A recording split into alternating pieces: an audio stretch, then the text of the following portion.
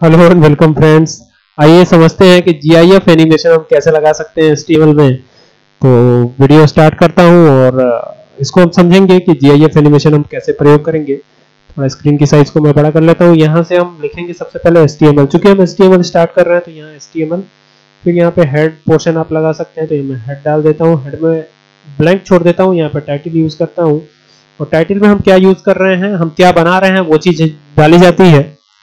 So you can put here the title uh, I put the title here uh, GIF animation क्योंकि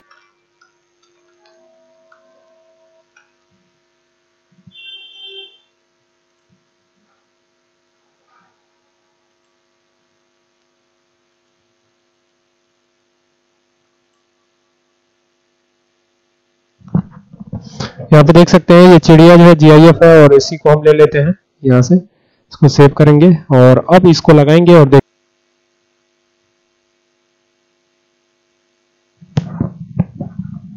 यहाँ से आप इसको करिए, इसके प्रॉपर्टीज़ को कॉपी करिए।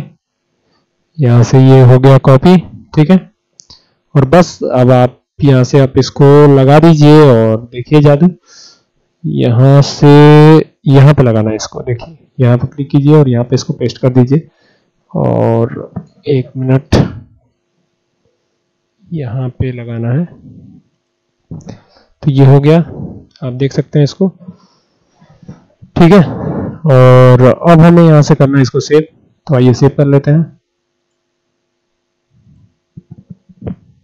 और अब इसको रन करवाते हैं।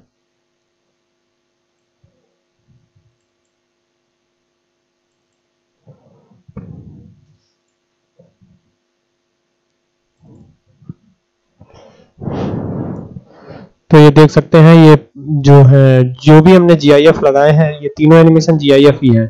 तो ये जो पिजन है, ये जो कबूतर है, ये किस प्रकार से अपने सिर को घुमा रहा है, और ये दोनों जो बर्ड्स हैं, ये किस प्रकार से फ्लाई कर रही हैं। अब ये बर्ड देखिए, ये बर्ड जो लगी हुई है नीचे वाली सबसे, जो कि फोर्थ वाली इमेज आपको दिख रही होगी, इसको हम थोड़ा और इम्प्लीमेंट कर सकते हैं इसमें। कैसे करेंगे, आइए देख लेते हैं। यहाँ से हम सारे इमेजेस को हटा देते हैं पहले। जो भी हमने लगाया, वो सब हटा देते हैं, सिवाय एक के। तो ये हमने कर दिया, ठीक है? और यहाँ पे हम लगा देते हैं मार्क्यू ठीक है? इसको भी हटा देते हैं, ये मार्क्यू जो लगाया हमने पहले। और यहाँ पे हम लगाते हैं मार्क्यू ठीक है? चलिए लगाते हैं M A R Q U double E ठीक है? मार्क्यू लगा दिया। और यहाँ पे कर दीजिए मार्क्यू को क्लोज जो सबसे पहले आता है एस्टिमल में सबसे पहले क्लोज भी होता है। तो यहाँ पे मार्किंग को करिए क्लोज तो यहाँ पे हमने कर दिया क्लोज और अब इसको करना है सेव सेव करने से पहले इसमें हाइट और विथ में थोड़ी सी चेंजिंग यहाँ पे हाइट जो है 400 कर देते हैं और विथ जो है 370 कर देते हैं। ठीक है? और करते हैं अब इसको सेव तो ये सेव कर दिया हमने। अब इसको रन करवाने की बारी है। तो यहाँ से करवाते हैं इसको रन ये देखिए, ये फिगर्स जो आ रहे थे। अब देखिए ये। यहाँ पे ये जो ये जो पक्षी है, ये उल्टी दिशा में उड़ते हुए आ रहा है। आप देख सकते हैं इसको। और इसके बाद अगर आप चाहते हैं कि ये लेफ़्ट से राइट की तरफ़ जाए तो यहाँ पर आपको बस एक चेंजिंग करनी है। यहाँ पर मार्को लगाने के बाद यहाँ पर डायरेक्शन लगा दीजिए।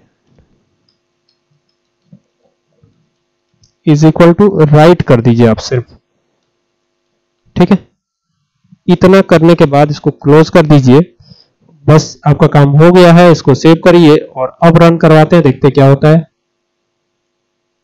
तो यहाँ आप देख सकते हैं, ये जो बर्ड है, ये उड़ते हुए लेफ़्ट से राइट की तरफ़ ये मूव कर रही है, ठीक है। ये देखिए, ये एक, कुछ इसमें छूट गया है।